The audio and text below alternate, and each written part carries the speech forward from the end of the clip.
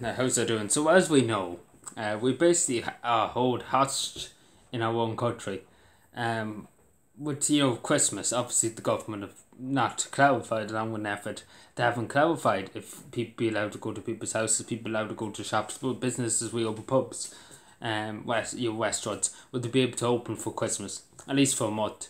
Um, because we all know the government have already you know basically just hit a few pubs very hard um, because they are going to bring in this legislation to stop takeaway pints from being sold um, in pubs. And that's going to hit the pubs again. That's going to be another black knockout blow to some pubs.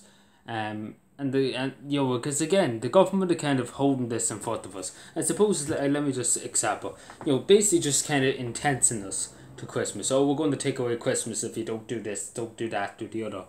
Um, and again, your clarity. Again, that's not doing any good to anybody. Worrying, saying, "Oh, it's going to be Christmas. Is the family going to be around the table this year?" Um, you know, I guess again, parents would be taken for that. Parents would be like, "I want my son and daughter to come home, um, from but say Cork and they live in, let's say they live in Navan and their daughter and sons in Cork, is saying Cork. Um, would they be able to go up for Christmas dinner? Um, at least for even three or four hours. That's that's all a parent would want. Um, but the government are holding it in front of them, saying, "Oh, we're not, you know, we're taking about it again." It's just kind of, it's a bit, it's a bit scummy, if you may ask me. Um, because again, no matter the situation the country's in, I think at Christmas, you know, without the efforts, you know, businesses are basically broke their backs for the government to listen to the government. Um, and the same with people. People have lost lots and lots of time and lots and lots of. A lot of people have lost their lives over hospital appointments being cancelled like I could go on. I really could go on, but I don't want to go on because there's an untold amount of damage that RTÉ are not covering. Um, that uh, the Irish Journal are not covering. Uh, BB, you know, all the main news channels are not covering because they don't want to. Simple as that. They don't want. It's not. They're not interested. Not interested.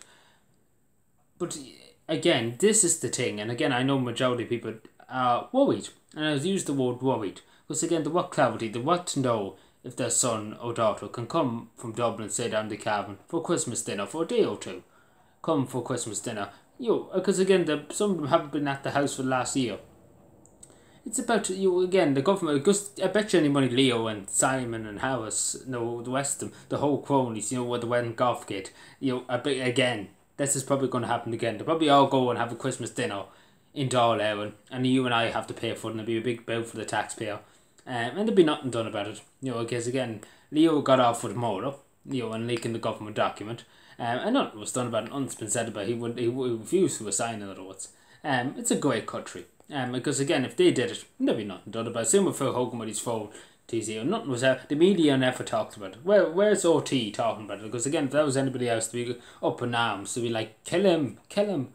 Um, that's the truth. The media would be like, if that was an ordinary Irish citizen, hard working Irish citizen, on his phone to his boss or to his dying mother in hospital. Because again, this country literally doesn't have a heart. Um, and then when there's a TD on the phone, it wouldn't do anything. Simple as that. The RTÉ wouldn't even look at it. Um, great country now. Um, like you know, it's just I think it's just scummy. I might just say straight. Never in the West. I think it's just scummy. Um, you know, holding Christmas in front of us, basically holding us hostage. Um, because again, you the, everybody's been through hard times. I'm sure everybody at one stage of this lockdown and everything has been depressed once and has felt very upset and not well and not themselves, if that makes any sense. Um, and Christmas is about celebrating Christ, the birth of Christ, obviously. Religious uh, festival, going to mass, you know, Christmas carols, you know, joy. It's about joy. It's about hope. It's about positivity. Um, and it's about most of all, it's about having the family and you know, having Christmas dinner and you know talking to you, meeting with your family. Um, you know, because again, you know, it's very seldom we we take the time to sit down together as a you know as a family, as a you know as our own families. We never take the time nowadays. Years ago, we used to have loads of time, but nowadays it's all go go go go, go move move move this that you know, um you know we never take the time to sit down and you know talk to our father to our mother, to our stepdad to you know our uncle our grandmother you know because again, that's what Christmas is all about.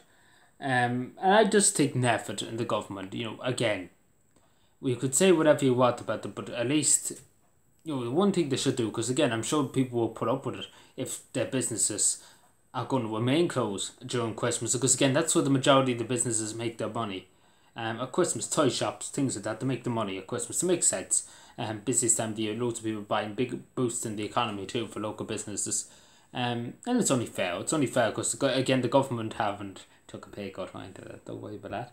Um, but yeah, it's only fair, and I hate the way they're holding us hostage with Christmas.